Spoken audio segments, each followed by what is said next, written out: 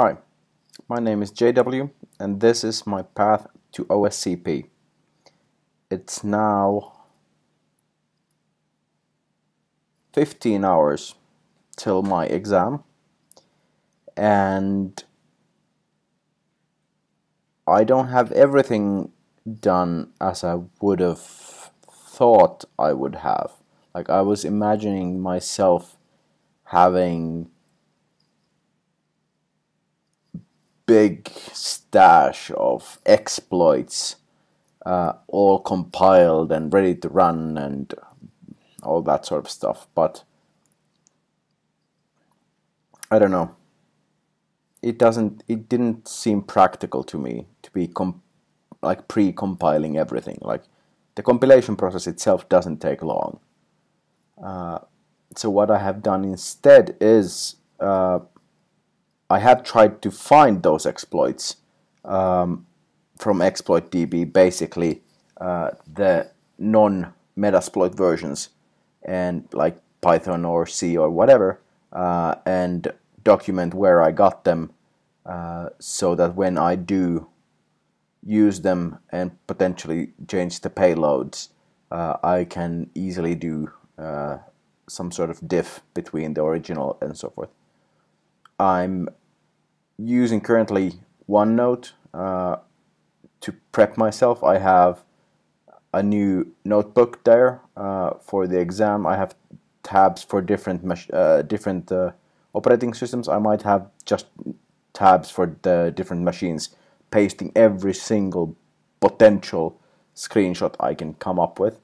I have made already uh, some tables here uh, for relevant information like my IP, what is the subnet, and so forth. And I have a simple, uh, currently 15 step procedure how I will begin tomorrow morning because I'm guessing I will be a little bit giddy and uh, potentially be like, let's attack everything, or I will get paralyzed like, how do I make attack? So that's why, uh, thinking ahead, now I've made a simple step. First, uh, paste your IP into every script that you currently have. Like for example, anything that is using IPs, Nmap, whatever. Uh, I've paste. I will paste my uh, lab connection IP to those places, so I don't ever need to specify the L host anywhere. Um,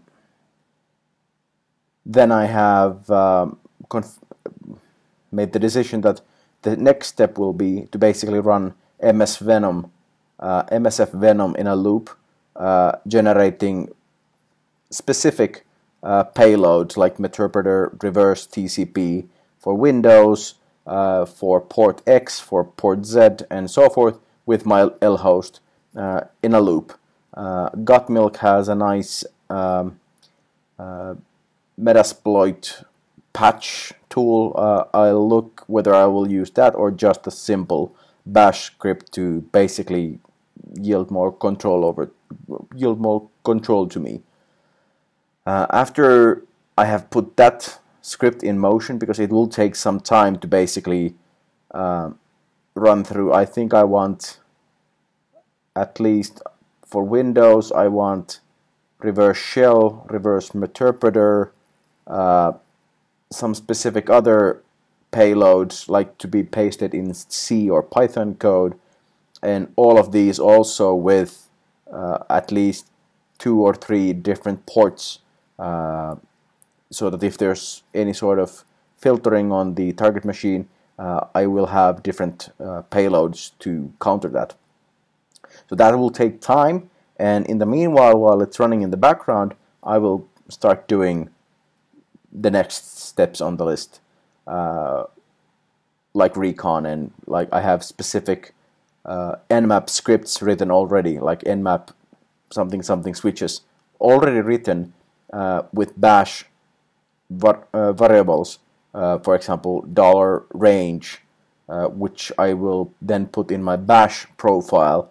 once I figure out what the lab range is, I will put that in the bash profile I will put my own IP into my bash profile so I don't need to type my IP I can just say $IP uh, and that will always be my IP. Or $lhost probably would be better. Um, so I have a specific set of nmap scripts and other recon tools that I will use, and I have specific notes here. Document all found machines in examdoc. Document all services found in examdoc. So I will follow this to the T, and I will have my all of my uh, screenshots and all of my tables, all of my enumeration will be full. I will have everything and at at the end of the exam it's more down to filtering what I want in the report instead of being oh no I'm missing this information. So I won't be missing information. I will have more than enough information. That's something I'm going to make sure of. Uh, I'm also considering uh, basically making a small cron tab uh, in my OS X that will take a full screen screenshot every let's say five seconds. Of course that can be in cannot be in cron tab because that's by definition once a minute is that well I will just make a while loop. Basically take screenshot, sleep for five seconds or ten seconds or something like that.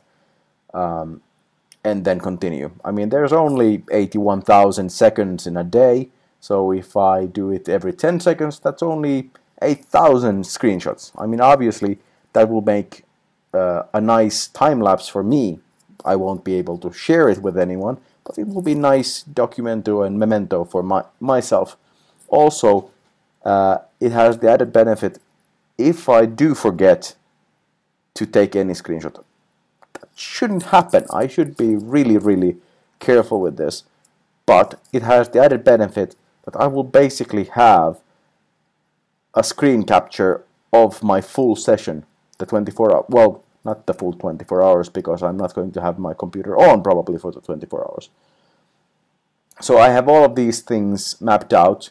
Uh, I'm not sure whether telling my um, exam plan is something that is allowed or frowned upon or whatever. So I'm just going to be precautious and I'm not going to tell you it. I'm not going to post it fully, uh, especially not the direct uh, nmap um, lines and so forth. I mean, this isn't rocket science, but again, this is uh, something that I have come up with that will hopefully help me tackle this exam.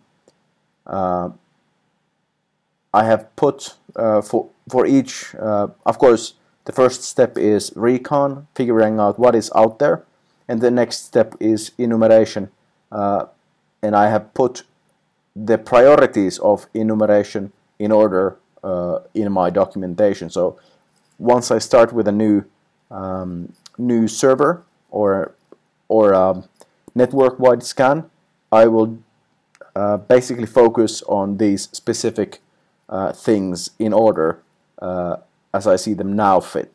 Uh, because I don't trust the future self. I don't trust myself in that exam.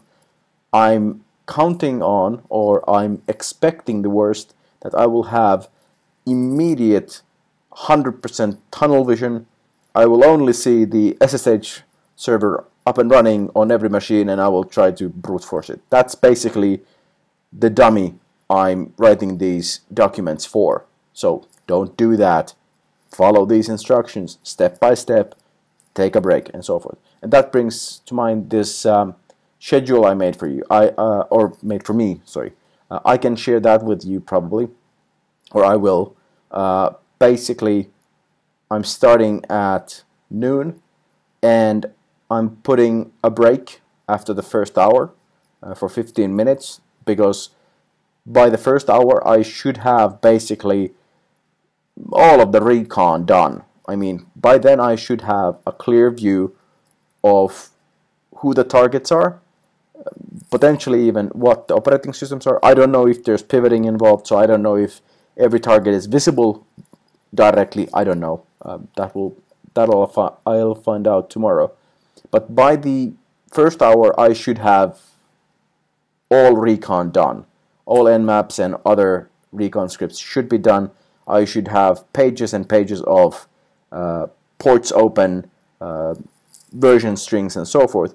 So at that time, it, I felt that it would be good time to just take a break, maybe look over the recon while walking outside, taking some fresh air, and then I'll have lunch, another break, dinner, a few breaks during the evening, and then I have sleep question mark uh, for 2 a.m. until 6 a.m.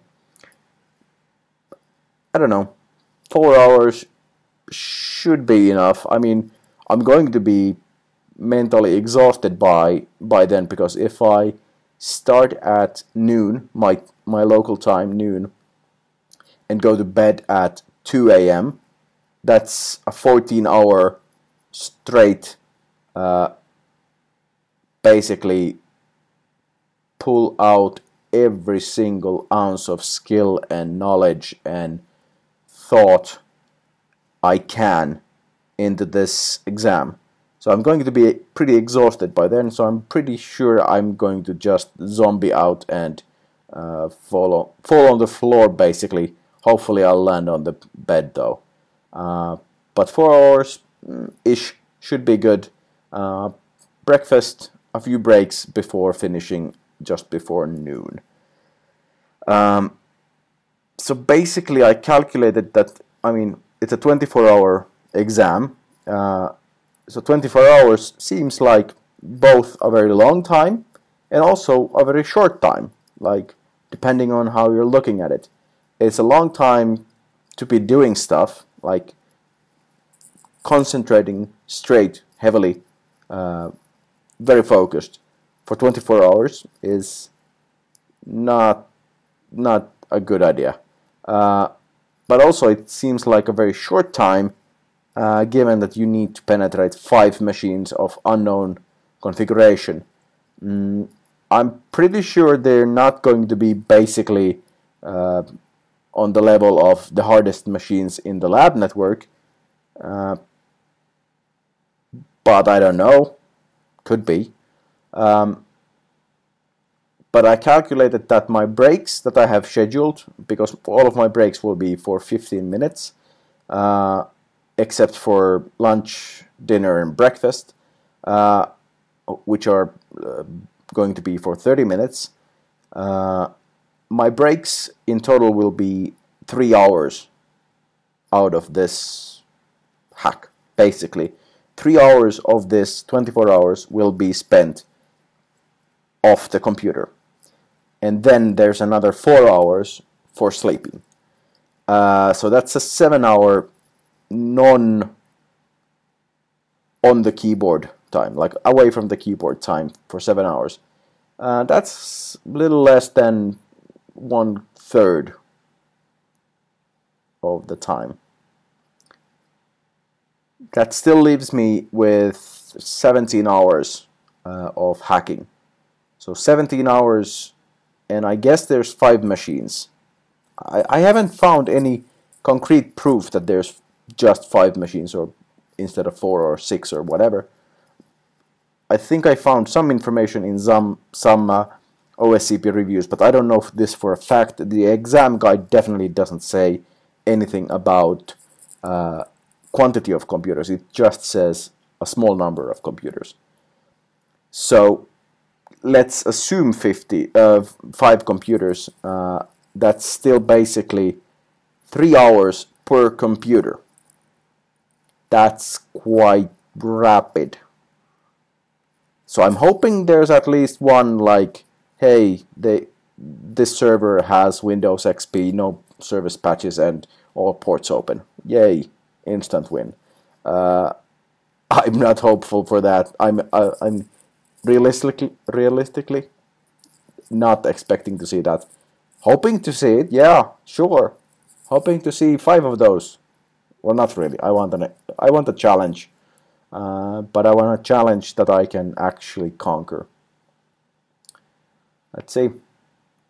I currently have uh, the basically the pentest monkeys cheat sheets for reverse shells I have a PDF uh, copy of the Red Team field manual. Uh, I have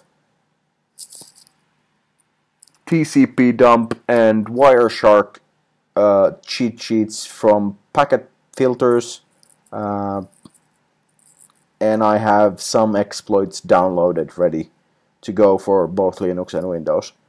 Uh, I don't know. This is very, very not to overuse the word or overload the word, but like bipolar. Uh, I'm going between. I got this. I mean, I have the skills to basically do a penetration test. This is just five more machines. How hard could it be? Well, not explicitly thinking that it, it couldn't be hard. And then on the other hand, I'm like, I don't know anything. I didn't get this and this and this machine in the labs. I only got X percent of the labs. I know this guy got 20 more 20 more machines in the same time in the labs. This guy got 100% of the labs in 30 days and like this guy was mentioning some exploit I have never heard of and it's going between places. Uh, I'm trying to adopt a sort of a fatalistic attitude that there's no point in me right now stressing out anymore. I know that the baseline stress levels are elevated, but there's no point in actually psyching myself out. It's not going to affect, like if I psych myself out, it's only going to affect negatively. Uh, there's no point in worrying. Either I will pass or I will not pass. That's it. If I don't pass, then I will spend more time in the labs. And then I will pass. If I pass, I'm happy. So, whatever comes, there's a positive uh, outline to that path. I'm still focused on winning. I will post uh, probably on. I mean, I will be recording throughout the day uh, during my breaks or whatever, coming back from breaks. I will be recording and talking to this microphone and uh, video camera, but you guys won't be, or, or, myself won't be seeing the results of that video until probably Sunday uh, after my what 24 hour exam and 24 hours of documenting and or sleeping after the exam. So let's see what happens. Either I'm going to be very very happy in the next video or slightly bummed. Who knows?